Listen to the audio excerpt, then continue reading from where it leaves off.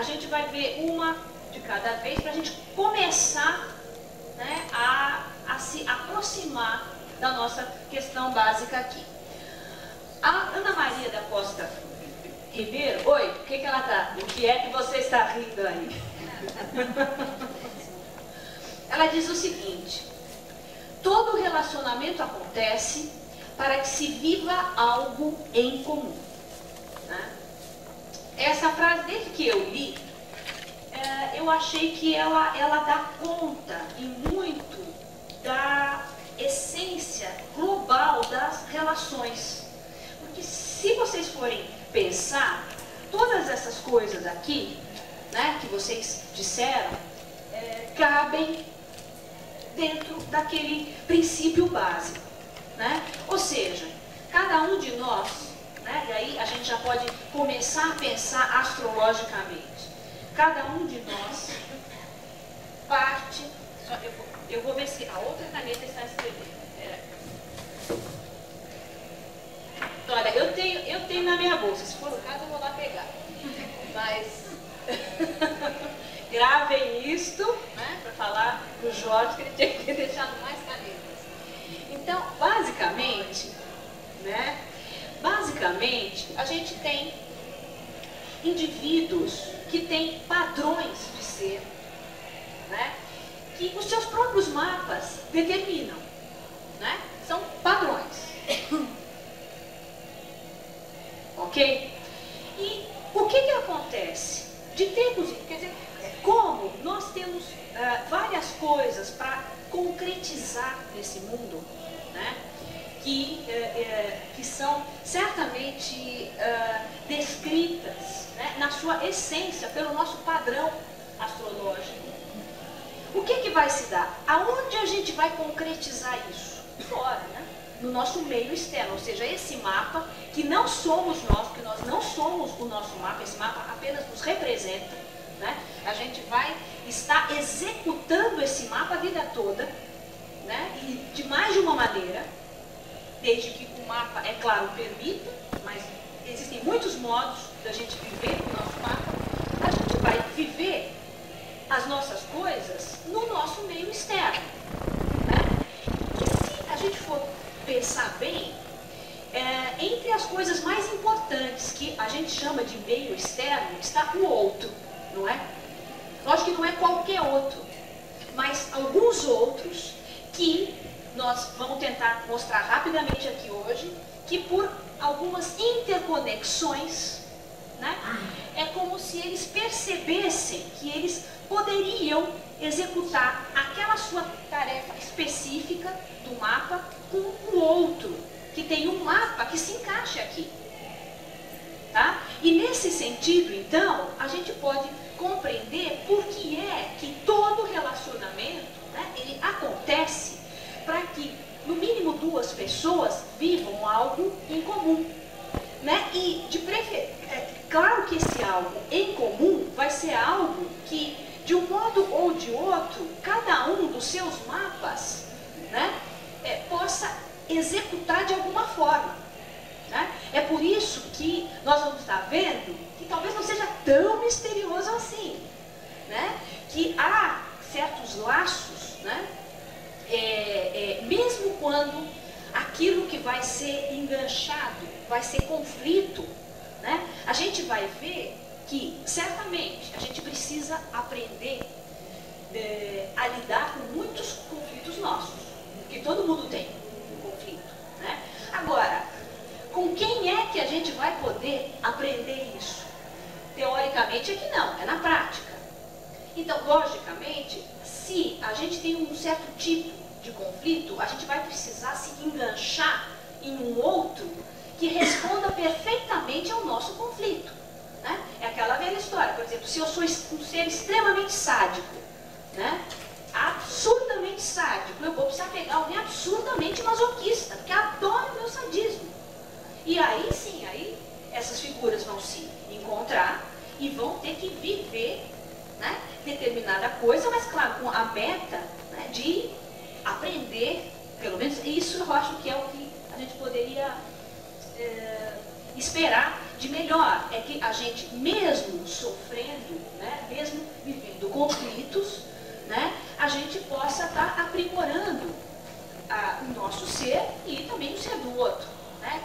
A, é, o ser do outro sempre indiretamente, né? porque cada um só tem acesso é, direto a si próprio. Né? Então, nesse sentido, é, é, eu sou do ponto de vista que não, tem nem, que não há sentido, de fato, em você perguntar para um astrólogo se uma dada relação deve ou não se manter.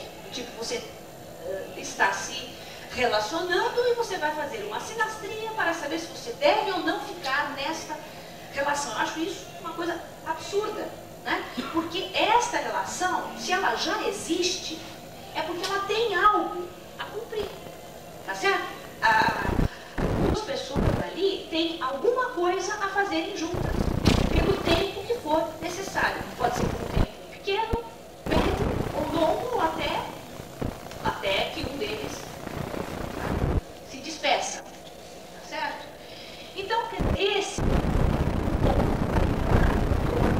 que já começa a direcionar a, a maneira como a gente, no meu ponto de vista, precisa abordar o estudo das relações. Ninguém estuda relação para descartar algumas e ficar com outras, porque relação a gente não escolhe, elas nos escolhem, tá certo? Do meu ponto de vista, é exatamente isso que se dá. Tanto isso é tão verdadeiro que há pessoas, né, é, até do meu meio que eu conheço, elas estão há anos, há anos, tentando se separar. Né? Desde o início elas estão se separando, mas não se separam. Por que será? Porque realmente elas têm várias coisas a fazerem juntas. Né? Então, quer dizer, esse conceito do que é bom ou mal é muito relativo. Né? Quer dizer, bom ou mal para quem? Né? Em função de quê? Né? Porque em termos existenciais, né, o nosso mapa não é nem bom nem mal, né? Ele é o nosso mapa, ele tem a, a, as nossas metas e da mesma maneira as nossas relações também, porque elas fazem parte do cumprimento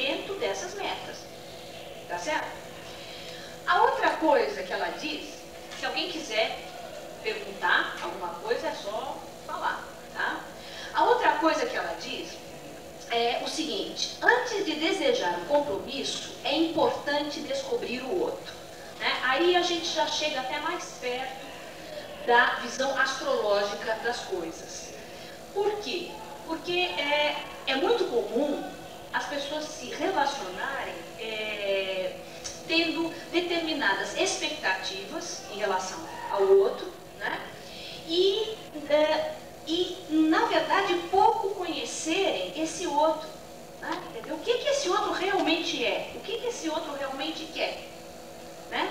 Então, e aí, logicamente, a gente entra em um campo também muito comum, que é o campo das cobranças, né? em que o outro, em que cada um cobra né?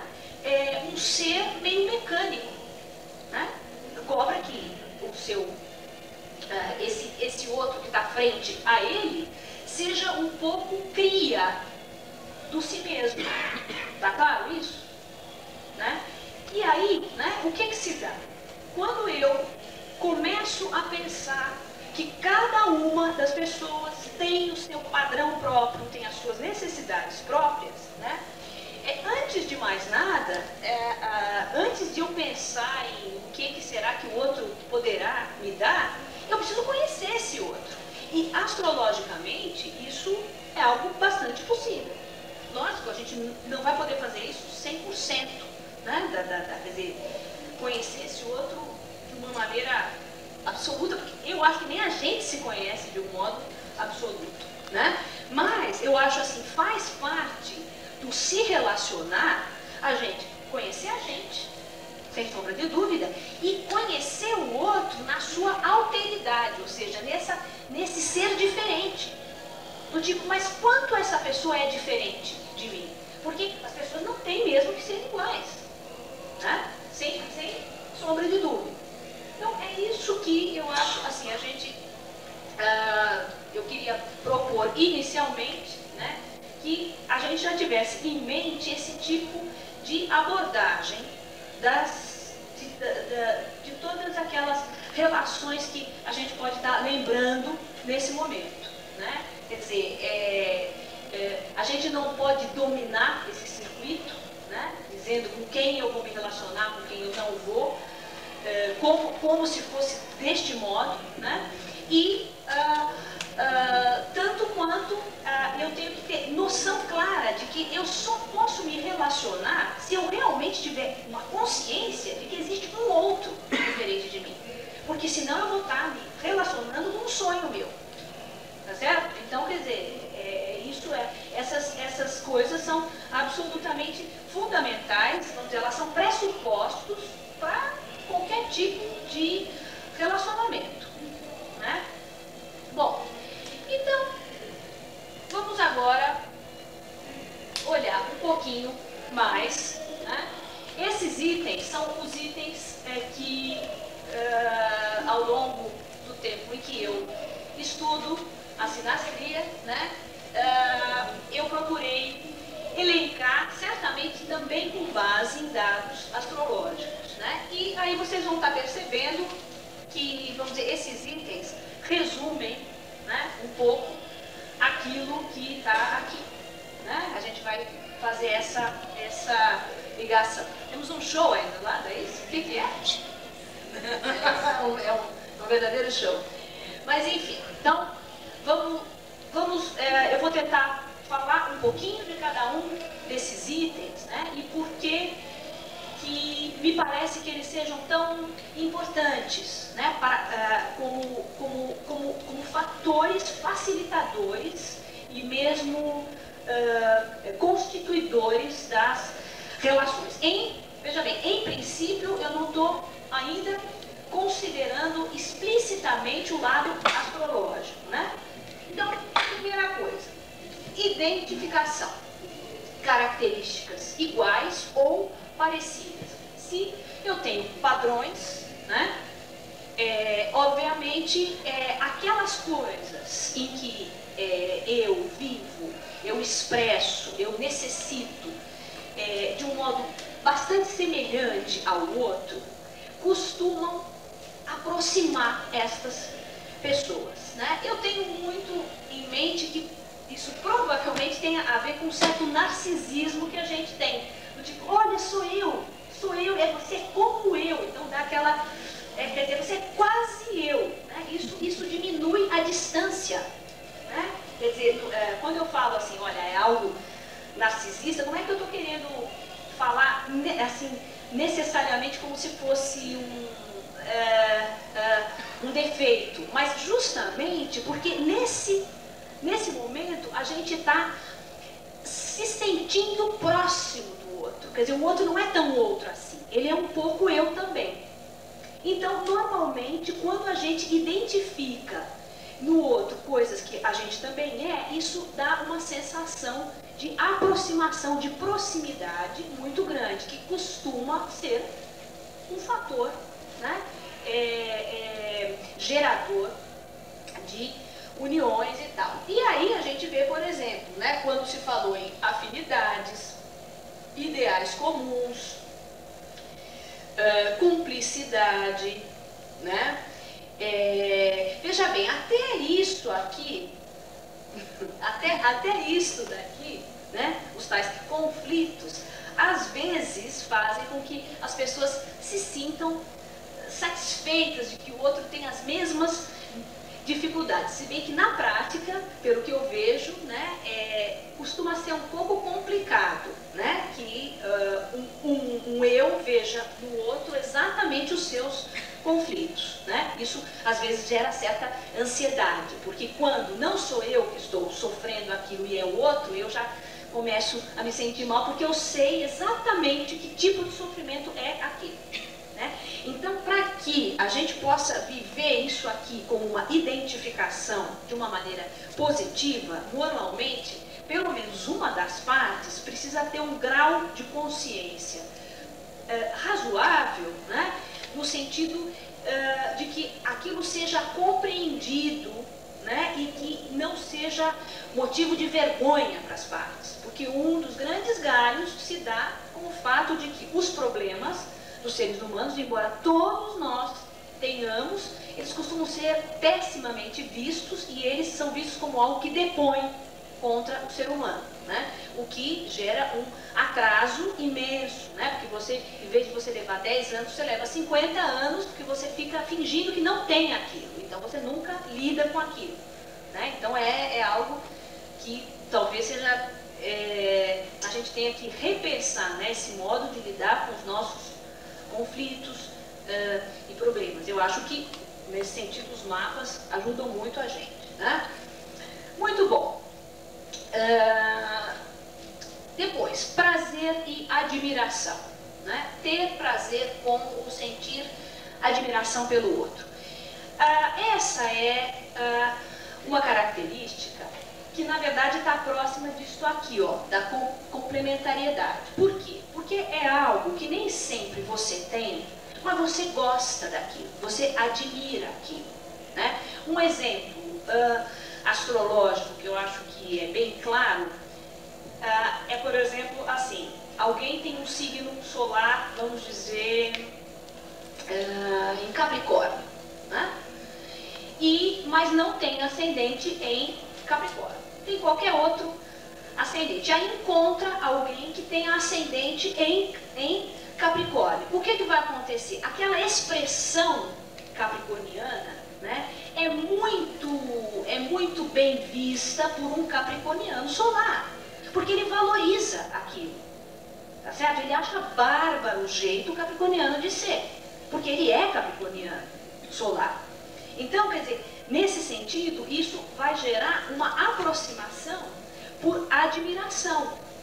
Né? Mesmo que eu não tenha aquele modo específico de ser, né? eu vou estar uh, uh, uh, pondo as minhas fichas nesse outro, porque eu gosto daquilo. Né? E, ao mesmo tempo, claro, se esse outro faz coisas é, que me dão prazer, tá certo?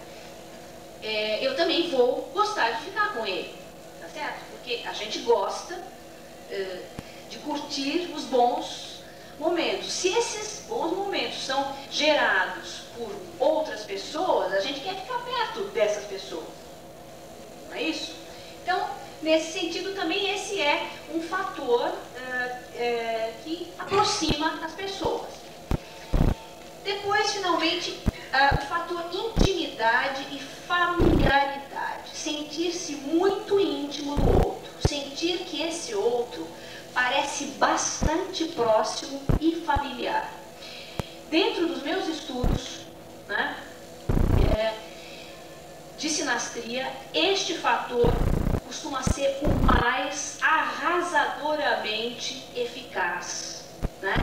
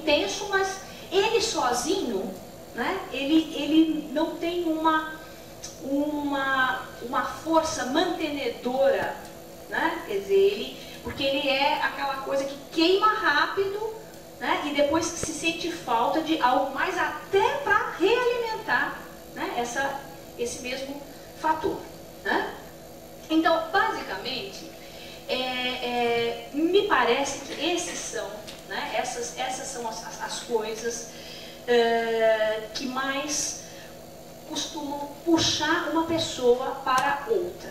Né? Agora, a gente precisa então ver em termos astrológicos, né? como é que será que a gente poderia identificar né? Essas, esses, esses ganchos em mapas astrológicos e de que maneira? Né? Como é que a gente acha isso nas nossas relações? Muito bom. É, essa, essa parte agora do que, do que vai ser é, posto aqui, na verdade, ela veio da minha prática é, ao longo de um tempo e foi meio sem querer que eu acabei percebendo essas associações que se repetiam constantemente. Né? Então, assim, eu comecei né, a estudar a sinastria, a fazer né, os, os, os, os, mapas e tudo mais. E, e é, entre as coisas que a gente faz, né, uma delas é ver as sobreposições de planetas de um na, nas casas do outro. Então eu comecei a fazer as sobreposições né, de uma maneira sistemática e depois de assim uns 10 ou 15, né, lentamente eu comecei a ter uma ligeira impressão de que certas coisas estavam se repetindo. Né? De que certas colocações se repetiam nas relações que efetivamente estavam constituídas. Né? E não só isso, como elas mostravam um pouco a cara de cada relação, quer dizer, assim, por que, que aquelas pessoas em questão tinham se aproximado. E eu fui checando e vendo que na história dessa aproximação e do que, que realmente atraía cada uma né, para a outra, eu comecei a, a ver então que, a, a, que aquilo tinha completamente é, é, a ver com, com, com esses posicionamentos. Né? Então, vamos ver como é que funciona isso. Tá claro por hora, eu estou indo um pouco rápido para. senão a gente não consegue ver. então, e já já eu mostro o mapa, né? Que aí, aí dá para ver. Eu percebi, né, que ah, dois, havia dois tipos fundamentais de ligação entre as pessoas, né? Com base naqueles itens que a gente tinha posto é, em cima. Alguns deles efetivamente geravam e solidificavam as relações das pessoas. Né? Por quê? Porque eu percebi que ah, os elos do segundo tipo, que a gente já vai ver, nem sempre ah, mantinham né, um, ah, uma dada relação. O que, que eu fui verificando então? Que haviam, deixa eu, que haviam uh, planetas, primeiro, que, que pareciam ser fundamentais né, nesta, neste, neste fato de conectar uma pessoa a outra. Não é que os outros, os outros planetas não sejam né, para um estudo geral e global. Mas estes planetas, né, é, eram eles os tais que, que geravam os ganchos entre as pessoas. Então, os planetas da casa de, é, de um mapa, eles iriam se enganchar né, é, nas casas do outro. Não todos, veja bem, logicamente assim, que o Sol tem que estar ou numa dessas três casas, ou a lua numa dessas três casas, não. Basta um gancho desses, é o suficiente para você ter uma possibilidade de elo. E lógico, quanto mais elos você tiver, maior a força de atração. Fala. Ah, aliás, olha, deixa eu até dizer o seguinte. É, eu vou deixar, já falei com o Jorge, tá, vai, vai estar na escola dele um pequeno roteirinho de sinastria para quem quiser tirar xerox. E aí tem tudo isso, tá? Tudo e mais um pouquinho, tá bom? Então se alguém é, quiser, é só ir lá na escola dele que eu já dei a cópia dele, já falei com ele. Então vocês não precisam aí se preocupar tanto.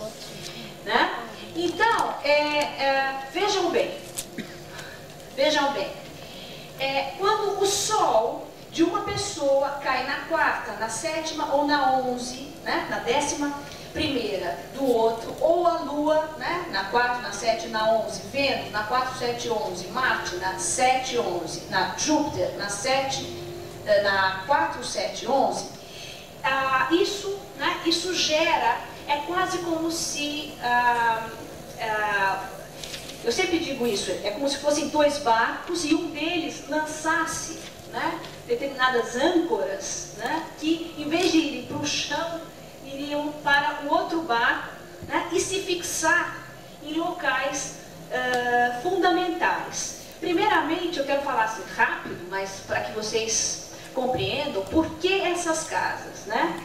É, claro, eu, eu mesma tive que tentar pensar em por que, que eram sempre essas as casas, né? quando eu fui fazendo os meus, os meus estudos. Quarta casa, porque a quarta casa é a casa da intimidade.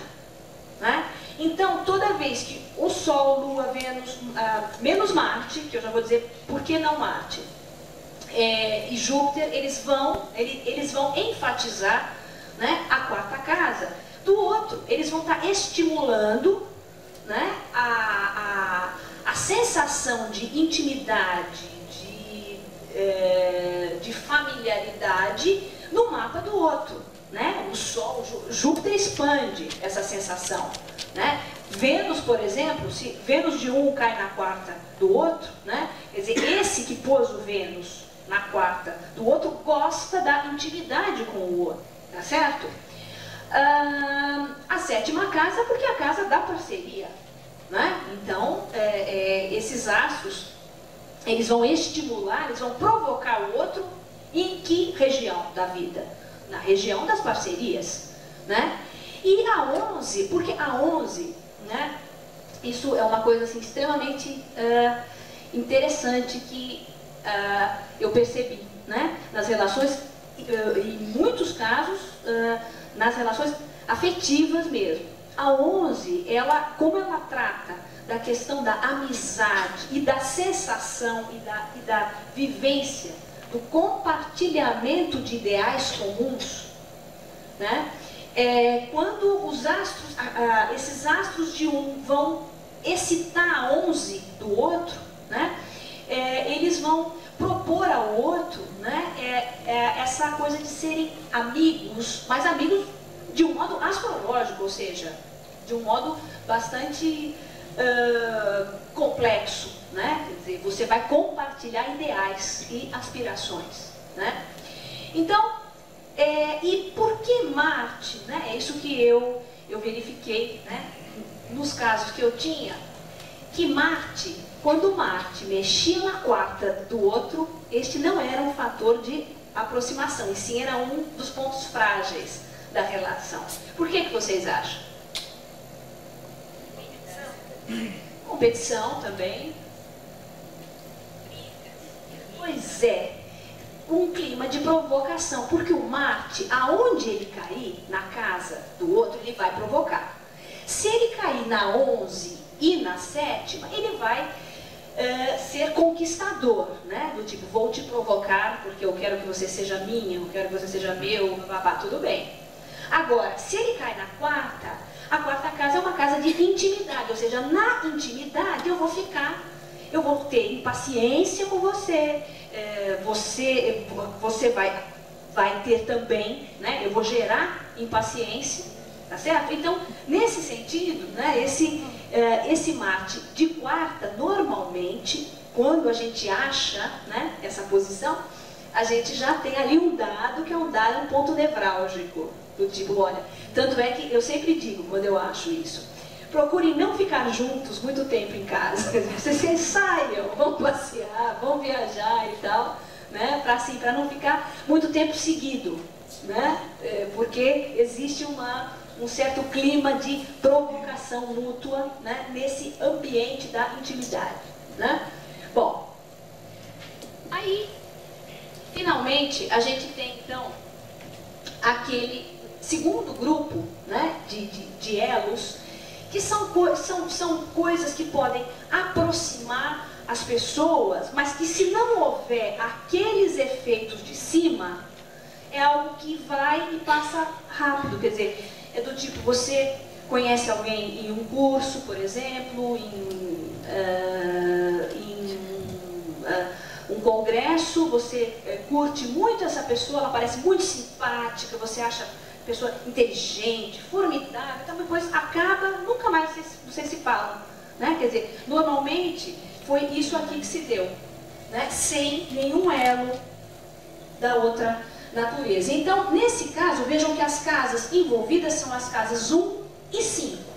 Né? Porque a casa 1 fala da autoimagem. Então, se eu coloco Sol, Lua, Vênus ou Júpiter na um do outro, né, eu estou, é, eu estou uh, elevando né, a autoimagem do outro. Né? De algum modo eu gosto.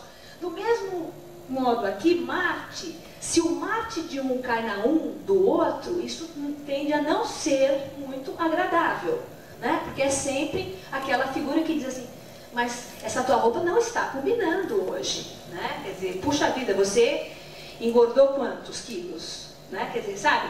É, é, um, é, um, é, uma, é sempre algo que fica, que fica cutucando o outro, né? E de certa, de certa forma, também há um clima de competição com a imagem do outro. Né? E a casa 5 é a casa do prazer.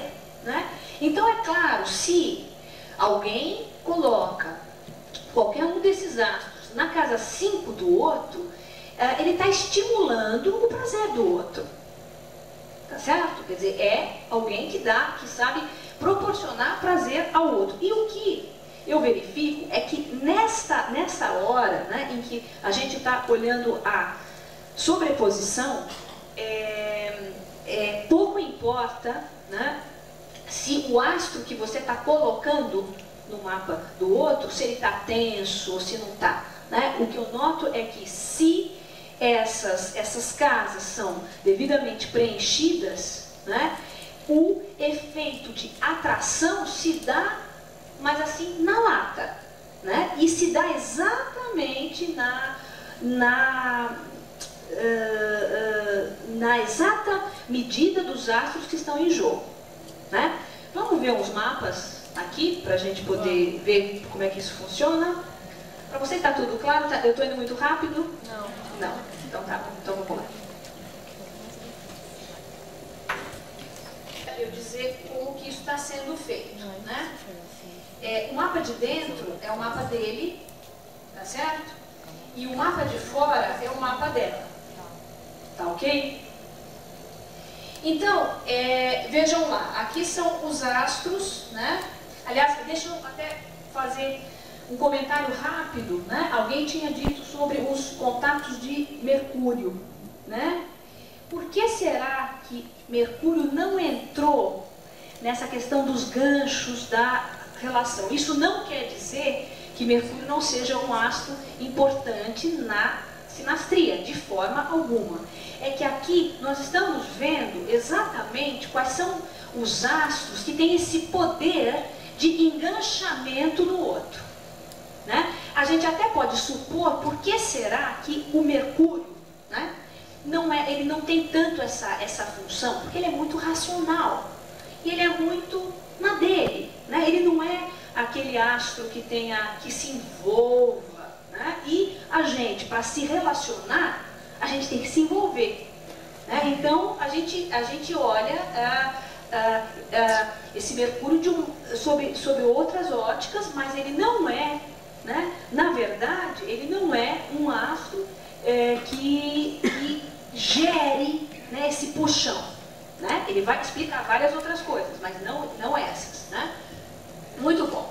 Então, vamos ver aqui. Primeiro, vocês notem que neste mapa aqui, existe um, um gancho de efeito relação que eu chamei. Ou seja, aquele gancho...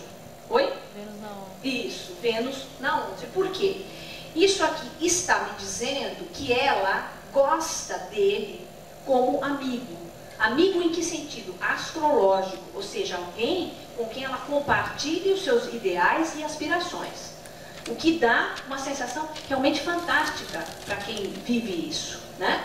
Então, ela, então é, é, o grande gancho, né? aqui é ela que está ganchando o mapa dele. Depois a gente vai ver o contrário. Tá? A gente vai ver o mapa dela e ver se ele fala. Não, alter. Olha, quer ver? Desculpe, você tem toda a razão. É, é verdade, é verdade. Aqui é, é o contrário. Ele é que está, ela que está dentro, é isso mesmo. Ela que está dentro e ele é que está fora. É porque eu li aqui o exatamente, é isso aí. Ela está dentro, então ele é, é justamente ele que gosta dela como alguém que vai compartilhar os seus ideais e aspirações, né? Aí vamos ver outras, outros, outros itens então. É, veja bem, é, ele coloca o Marte dele na quarta dela. Obviamente, né? Ele, na intimidade, às vezes ele, é, vamos dizer que é, cansa a beleza dela. Ou seja, ele cria, gera uma certa impaciência, né? E de fato gera mesmo. É que é que não é o caso aqui hoje, que não há tempo, mas ela tem um mapa, né, que por sorte tem uma grande resistência à impaciência, né? Até porque ela tem Marte de 12, né? Ou seja, então ela segura muito a sua agressividade. Quantos? 10 minutos, tá? É... muito bem. É, depois, vejam bem, é, a, ele, ele coloca Lua e Júpiter na décima dela, né? ou seja, aí não há um efeito relação, mas a gente pode ter né, uh, uma noção de que, de, que ele, uh, de que ele gosta, de que ele acolhe bem a profissão dela, né? quer dizer, ele dá um incentivo nesse lado da vida. Né? E, e finalmente, né, é, é, é, ele também ele, ele ilumina as, a, a, as áreas que ela tende a reprimir. Então, neste, neste ponto, sem dúvida, né, é, esse é um lado em que ela vai viver mais conflitos com as suas próprias dificuldades, porque ele ilumina zonas que são difíceis para ela, ou seja, ele estimula essas zonas, tá certo? E um detalhe, né? É, a gente coloca o ascendente do outro, né? A gente vê no mapa desse, né? Quer dizer, então assim, aqui é o ascendente dele e aqui é o mapa dela, ou seja, ele, ela, ela vê, né? Ele como alguém, é, como um uh, um colega de trabalho, né? mas como eles vivem juntos, é um colega de trabalho, quer dizer, é, é quase como se ela visse essa vida em comum como um, um conjunto de tarefas que eles podem cumprir juntos. Né? Ah. Quer dizer, é um modo, é um modo específico. Tá? Deixa eu Você falou que eles se dão bem, não? Se dão muito bem.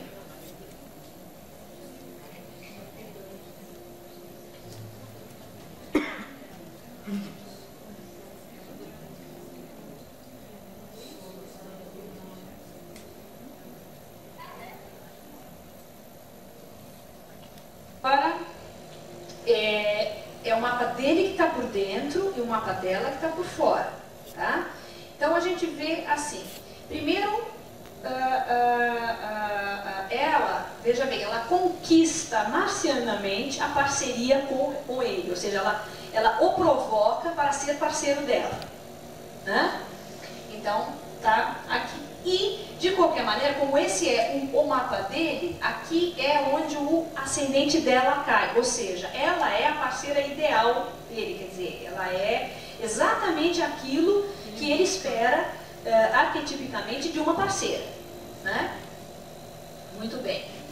Uh, depois a gente tem aqui uh, as outras coisas. Ela, ela também vai estimular o lado profissional dele, vocês estão vendo? Está vendo? E a, a, a, ao mesmo tempo, veja como os sóis dos dois né, estão lidando com casas difíceis. Né? Ela coloca o sol na casa das crises dele, né? ou seja, até certo ponto uh, estimula e, logicamente, se eles forem uh, um casal com uh, uma uh, uma consciência razoável, isso pode ser bem aproveitado. E é. Né? Porque senão, se fosse um casal que vivesse mal, né? esse, esse lado deles, era como se cada um fosse botar o dedo na ferida do outro. Né? Mas em, certa, em certo modo é, é o que eles fazem. Quando ele ilumina a 12 dela e quando ela ilumina a 8 dele, é exatamente isso que eles fazem. Eles estão trazendo à baila conflitos do outro. Mas se há uma complementariedade, né, eles podem justamente lidar melhor com esses conflitos por não estarem sozinhos no conflito, por terem o outro. Né? Muito bem. É, é, com, com, esse quadro, né, eu tenho uma ideia do, assim, do, de por que esta relação aconteceu. Né? Eu vi aonde é que ela se enganchou. Né? Deu claramente para ver. E aí, a, a segunda parte né, do, nosso, do, nosso, do nosso rápido encontro aqui era falar, é, ou mencionar, ao menos, é, como é que eu fico sabendo do objetivo da relação. Né? Tipo, a que veio essa relação? Né? Aí, na verdade, já já eu ponho, né? a gente, a, a gente pode saber né, o caminho da relação, o destino da relação, né? É, para que, que, ela, que ela está aí. Né? E, logicamente, é, a gente até pode ter em mente o fato de que, é, o fato de que é, se certas pessoas se atraíram, se uniram, isso sozinho né? ou seja, aqueles ganchos que nós vimos não garantem né, a manutenção da relação. Porque a gente tem aqui um script para viver também. Né? É aqui é que nós vamos ver, sem dúvida, aonde a relação vai pegar e aonde pegar no sentido de cutucar, né? de machucar, e aonde ela realmente tem recursos para se desenvolver. Né? É no mapa composto Todo mundo sabe o que é um mapa composto, que é um mapa médio entre os outros dois mapas? Todo mundo sabe? Não. Não. Não. Então eu vou falar rapidamente, mas é, é preciso que se diga isso. Nós temos dois mapas sempre em jogo, o mapa de uma pessoa e da outra pessoa. São mapas astrológicos. Se eu calcular os pontos médios entre, entre toda, todas as, as, partes desses mapas, né, por exemplo, ascendente de um, ascendente do outro, sol de um, sol do outro, é, lua de um, lua do outro, você vai achar a, a lua média, o sol médio, o céu médio, é, Saturno médio, e aí você vai fazer um mapa que é o mapa médio. Né? É um mapa que é o mapa médio da relação em si. Esse mapa é um mapa composto, que é esse aí, né? e que justamente ele não vai falar né, de, dos indivíduos é, particularmente já. Né? Ele vai dar conta de uma coisa que, se a gente pensar bem, é, a, gente pode, a gente pode até compreender de uma maneira bem clara.